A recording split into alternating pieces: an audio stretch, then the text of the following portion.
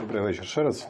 Ну насправді система Прозоро дійсно достатньо ефективна е, система, хоча там є там є деякі свої мінуси, які треба допрацювати, треба подивитися, які хочуть зміни внести.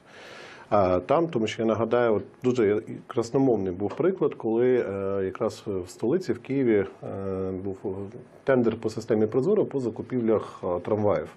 І там брала участь польська фірма і українська львівська е, львівський електрон. Е, І, власне, польська фірма дала на одну тисячу гривень при двохмільярдному замовленні меншу вартість, тільки на одну тисячу щодо двох мільярдів. І система Прозоро відповідно зреагувала на меншу ціну. І в кінцевому результаті, якщо б ця угода була укладена, то ну, бюджет би країни втратив би 600 мільйонів. Я вже не кажу про втрату робочих місць і віддання пріоритету все ж таки вітчизняному е, виробнику. Тобто, от, ну, такі, от, от ці шпаринки точно треба закривати, щоб цим е, не зловживали. От. А щодо того, що зекономили стільки грошей, це дуже добре. Тільки в мене тоді питання: а, яким чином це порахували? Я розумію, яким чином, тому що перевірили щодо того, як це раніше закуповувалось. Тоді інше питання виникає цілком логічне. А хто поніс покарання за те, щоб е, брав участь от в тих процедурах до введення системи Прозоро? І нагадаю свого часу керівник Держфінінспекції, пригадуєте, Микола Гордієнко, який е, надав е, документи, або це проводить е, аудит, ця державна структура контролюючий, щодо зловживань на 7,5 мільярдів. Вони стосувалися як е, ще президентства Януковича, уряду Азарова, так і вже урядування Яценюка. Тоді Генеральна прокуратура відкрила 2 тисячі кримінальних справ. Жодна з них не дійшла до суду. Їхня доля на сьогоднішній день невідома. Я якраз минулого тижня подав відповідний е, депутатський запит для того, щоб з'ясувати, а яка ж доля їхня, тобто де гроші, які тоді були на подібних, в тому числі і тендерах вкрадені, і хто за це поніс відповідальність. От, от тут є дуже важливий момент. Коли зараз президент згадував про а, випадок державного підприємства, про те, що він 9 разів, тому це обходять, якщо до 200 тисяч, по 199 гривень. Добре, але я б на місці президента би назвав конкретно ось це державне підприємство. Так? Ось це зробило. Так. Я Ну, ски- і- скерував доручення до а, Генеральної прокуратури. Так. Віталійовича Луценка, для того, щоб він розібрався, чому вони це роблять, так і за те вони мають понести покарання, а не просто констатувати факти. Ось тому там чи це є там на, на наступ на уряд, треба дивитися, які зміни саме вносяться. Якщо це є покращення, зокрема тих моментів, про які говорив е, я, то будь ласка, звичайно, давайте давайте удосконалювати, давайте це робити. Але запрацює все це ефективно, коли той, хто обходить.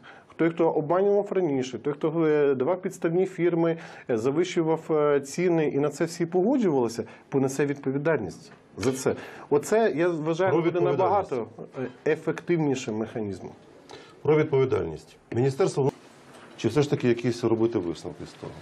Ну, щодо попередньої теми, дуже тотожні випадки. Насправді, за фальшування виборів за підкуп У нас є кримінальна відповідальність. Тепер давайте звернемося увагу ще з 2005 року, тобто коли була помаранчева революція, і власне вона сталася через фальшування а, виборів. А скільки справ було доведено до суду? Так, були масові фальшування. Вони були і в 2010-му президентському. Тобто вони е, прямий чи непрямий підкуп був і в 2014 році. Давайте згадаємо сумнозвісні вибори в Чернігові, де просто відкрито один кандидат робив гречку, а другий кандидат роздавав гроші. Врешті-решт, один з них, наближений, до речі, до президента його фракції БПП, Березенко взагалі став е, народним депутатом. А що з цими справами кримінальними? Без різниці, там теж е, є е, за це покарання. Від того, що буде 6 чи 10 років, я за. Насправді я за, це правильно. От. Але давайте ми цей інструмент... Ну, ви уявляєте, Дмитро, що е, десь там в райцентрі чи в селі е, хтось комусь е, засіяв там піврайону, люди взяли. Комусь треба там до, до тварини щось, тому мішок комбікорма, так, тому там гречка, тому ще щось. Ну, то, того, що, мабуть, промислові товари, бо, можливо, когось це вродило там на городі. Ну і, і що? І потім прийдуть і е, вдягатимуть кайданки. Питання до питання криміналізації до тих, хто дає, а не до тих, хто бере. Давайте, давайте це спершу розставимо. Але це відбувається і зараз. Дивіться, непрямий підкуп е, по, великому рахунку. Е, І зараз рісні в Верховній Раді це в першу чергу стосується мажоритарників. Це робиться за схемою державних субвенцій, так регіональних субвенцій, де уряд е, видає на ті чи інші округи гроші. Так як правило, це від 5 до 20 мільйонів гривень.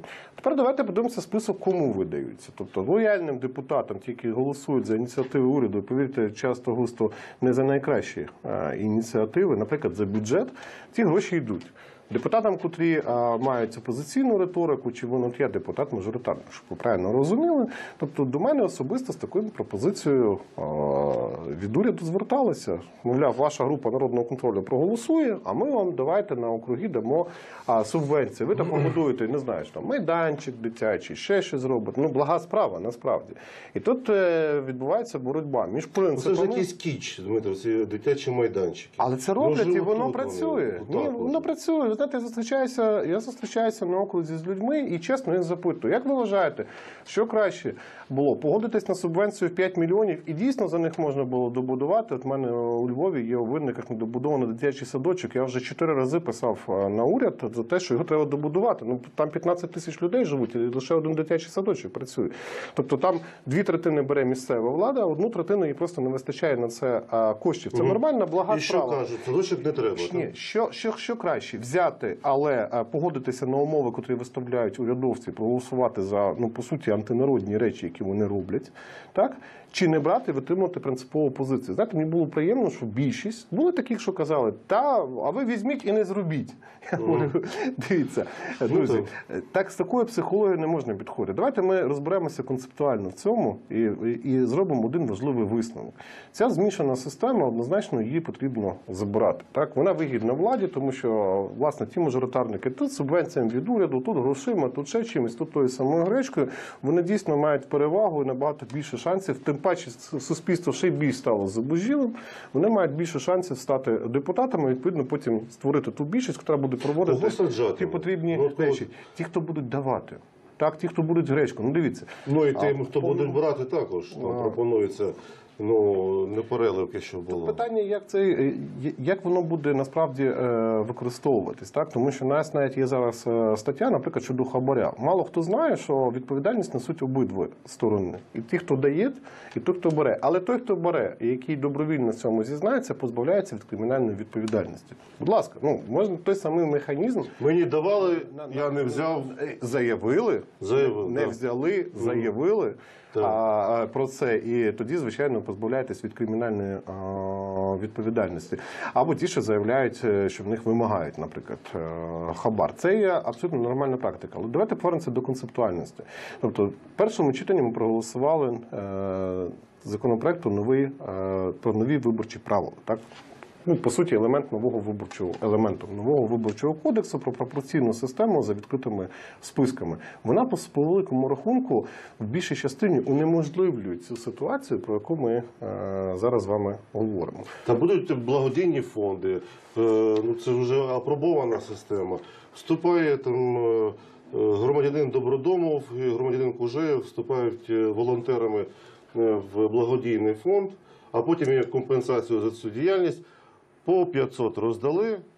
Хто там що Знаєте, може зараз, приділити? зараз НАЗК має е, всі важелі і інструменти перевіряти фінансування партій, загалом фінансування партій, про те, е, від кого отримують так, і на що витрачають ці кошти. От я є автором е, поправок, наприклад, щодо рівнодоступності до політичної е, реклами всіх партій, тобто по великому рахунку їхнього обмеження, і щоб е, всі е, партії мали однакові можливості так щодо витрат е, на політичну рекламу. Вона потрібна, але безумовно з підтвердженням тих джерел е, коштів, котрі надходять. Це є правильно і зрозуміло. Я дуже сподіваюся, що під час розгляду до другого читання в нас на цю правку врахують, як і багато інших, котрі зокрема зокрема подавали е, і ми.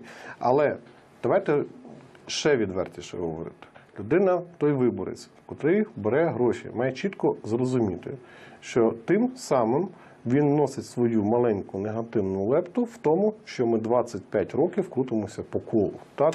Нас люди Та міняють тут до, со- все, закликати що- до совісті вже не працює. Дивіться, це не до совісті, це, це, це, це закликання насправді до здорового глузду. Ну інакше ми просто вперлися вже давно в стіну. Ми стоїмо над прірвою.